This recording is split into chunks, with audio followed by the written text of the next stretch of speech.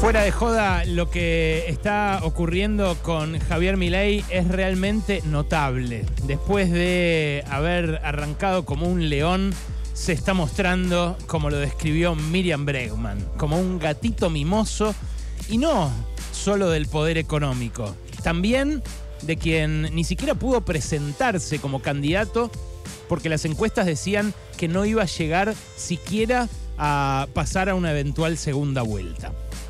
Mauricio Macri no solo le está copando el gabinete a Javier Milei, sino que eh, tenía a Luis Caputo trabajando hace tres meses con eh, Nicolás Pose en las sombras, o al menos así lo publica esta mañana Florencia Donovan en el diario La Nación.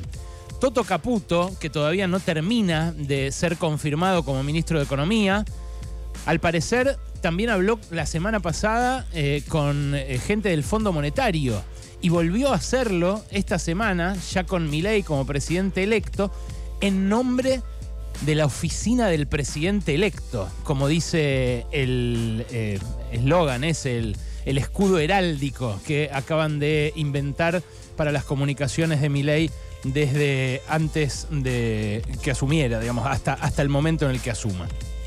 Todo esto es eh, una estafa electoral, obviamente, para los que votaron a Javier Milei pensando que así erradicaban a la casta. Para los que votaron al Javier Milei que bardeaba a Luis Caputo.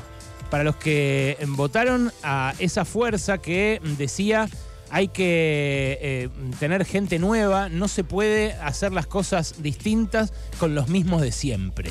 Bueno, los que van a ocupar lugares eh, clave en el, gobierno de Javier Milei son los mismos de siempre.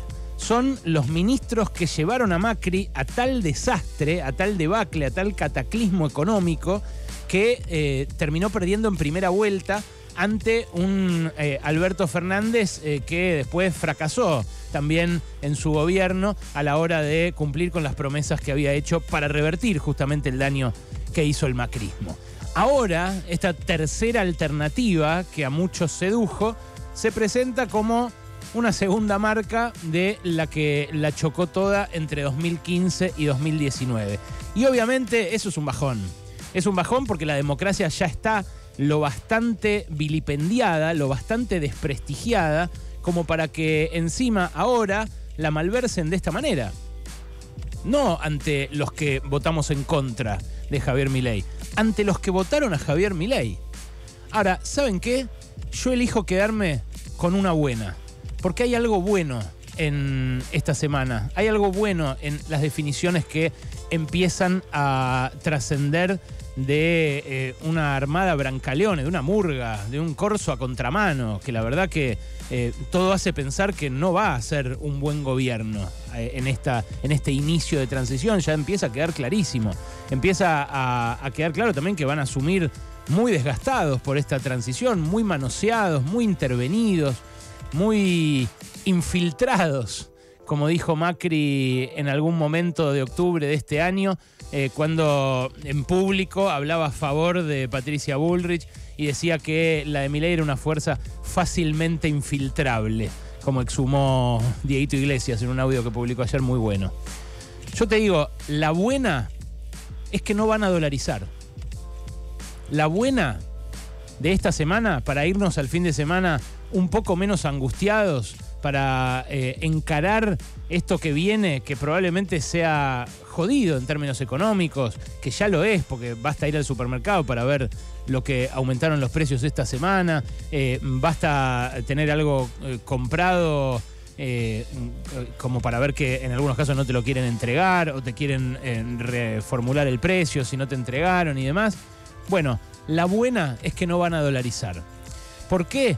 Porque Emilio Campo, el e-, economista marginal en términos académicos, ideológicos y hasta personales, diría yo, por cómo habló eh, en los foros donde lo convocaron estos meses, eh, no va a ser finalmente el presidente del Banco Central. Y ah, vos me preguntás, ¿qué? ¿Eso quiere decir que va a ser bueno eh, para el país, para el futuro, para el programa económico que viene, el, presidente del Banco Central que suena ahora como el que va a asumir, que es Demian Reidel, un otro exfuncionario de Macri, eh, que en su momento participó con Federico Sturzenegger de la devaluación de principio de 2016. No, no estoy diciendo eso. Lo que digo es que eh, con, estas, mm, con estas, estos recules iniciales del gobierno de la libertad avanza, ya queda claro que no van a poder dolarizar sin dólares, como insistió Milei hasta el último día y como ratificó incluso en el discurso después del triunfo y en las entrevistas que dio a partir de ese momento. No van a dolarizar porque los que insistían en esa peregrina idea sin dólares, que decían que iban a conseguir un financiamiento internacional para cambiar la plata del Banco Central, los bonos del FGS de ANSES o algunas empresas en manos del Estado para eh, hacerse de esos dólares con más deuda. Bueno, esos se corrieron. Se corrió no solo Emilio Campo, eh, un tipo al que nadie respeta en el mundo de los economistas, ni ortodoxos, ni heterodoxos, ni nada, sino que se corrieron también los dolarizadores de siempre. Los dolarizadores eh, menemistas, los que eh, después de chocarla toda con Menem entre el, entre el 97, 96, 97 y el 99, eh, se armaron una fortaleza en el SEMA, en una universidad privada ultra ortodoxa que queda ahí en la City, cerca de Corrientes y Reconquista. esos también se corrieron. Esta mañana, bien temprano, hizo un tuit el machista y homofóbico de Carlos Rodríguez, eh, que por estas horas es bastante popular en las redes, circula casi viral por una barbaridad que le dijo a Luis Novarecio, que le duele la barriga cuando ve a dos hombres besarse. Bueno, Carlos Rodríguez esta mañana dijo que no va a asumir ningún rol de asesor ni de funcionario en el gobierno de la libertad avanza. En este caos en el que está sumido el, gobierno electo, el presidente electo, se le están yendo muchos funcionarios. Hay un vocero clave también que dijo ayer, que ayer dio un portazo y dijo, no, así no podemos seguir, y se fue.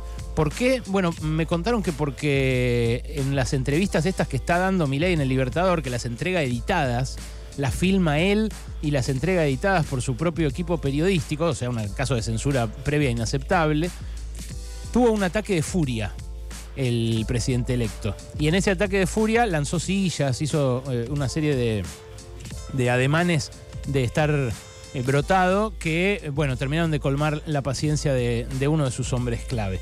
Ahora, que se vaya Emilio Campo, que se vaya eh, Carlos Rodríguez, que se vayan eventualmente Roque Fernández, los eh, demás economistas ultraortodoxos que insistían con la dolarización sin dólares, no implica que no vayamos a eh, estar ante un nuevo ciclo de endeudamiento, por ejemplo. Es muy probable que ahora, viéndolo ya cómo se está conformando, el gobierno de Milei sea un macrismo a más velocidad. Y este arranque se está pareciendo mucho a aquel arranque del menemismo cuando asume patilludo y con la promesa del síganme que no los voy a defraudar y se viene el salariazo y la revolución productiva y empieza a nombrar ejecutivos de Bunge y al frente de su equipo económico. Bueno, esta transformación de Milei no es tan radical, no es tan eh, dramática, porque Milei ya venía diciendo que iba a ser una política económica ajustadora, ortodoxa. Y el que lo votó la que lo votó sabe que se exponía a eso. También sabe que votó entre dos males y que votó en contra de Sergio Massa porque el gobierno de Alberto Fernández y el Ministerio de Economía de Sergio Massa fue un desastre y aplastó el poder adquisitivo de nuestros salarios. Pero insisto, hoy podemos hablar de una buena noticia, que es que no van a dolarizar. ¿Por qué es bueno? Porque la dolarización era cerrar la jaula del lado de adentro y tirar la llave al mar. Porque la dolarización es irreversible. Porque la dolarización implicaba cristalizar una relación de fuerzas muy adversa a la mayoría del pueblo y una distribución del ingreso que es de las peores de nuestra historia. Hoy, después de esta estampida inflacionaria del último año, después de lo que se deterioró el salario con el macrismo y después de la impotencia de los anteriores tres años de Alberto Fernández, los ricos son más ricos que nunca, casi.